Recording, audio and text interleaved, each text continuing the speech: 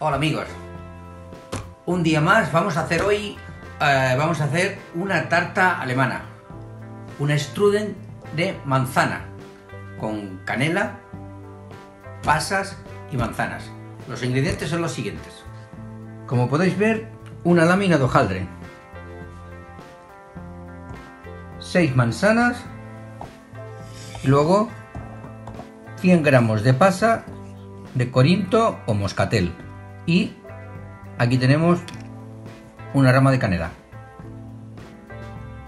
La elaboración es la siguiente. Le hemos puesto el azúcar, 150 gramos de azúcar también. Y ahora le estamos rayando la canela.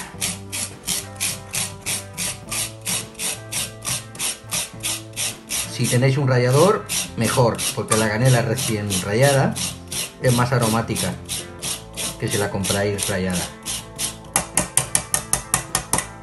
Bueno, ya está. Ya lo tenemos. Ahora lo removemos. Ya hemos puesto las pasas, el azúcar. Vamos a coger el hojaldre y le vamos a poner la masa, digamos, el relleno, que son las manzanas. Bueno, Ahora vamos a hacer lo siguiente. Lo vamos a repartir bien y lo vamos a envolver. Y al horno. El horno lo vamos a precalentar. Lo vamos a precalentar a 190 grados.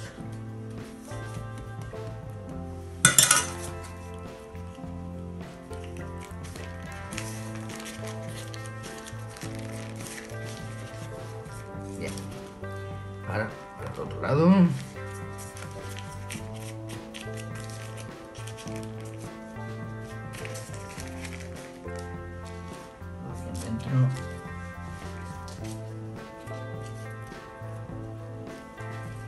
Bien, ya lo tenemos todo envuelto y ahora lo vamos a pintar con huevo y al horno.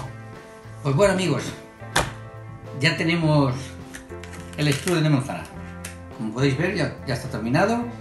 Esto lo podemos acompañar. ¿Con qué? Bueno, con un poquito de nata montada, con una chantilly, con una crema, una crema suave, una crema inglesa. Eh, otro día hablaremos de la crema inglesa y diferentes tipos de crema y diferentes tipos de sabores. Que aproveche. Si os ha gustado, ya sabéis, me marcáis un link y si queréis seguir viéndome, pues ya está. Aquí estoy cada semana. Hasta luego.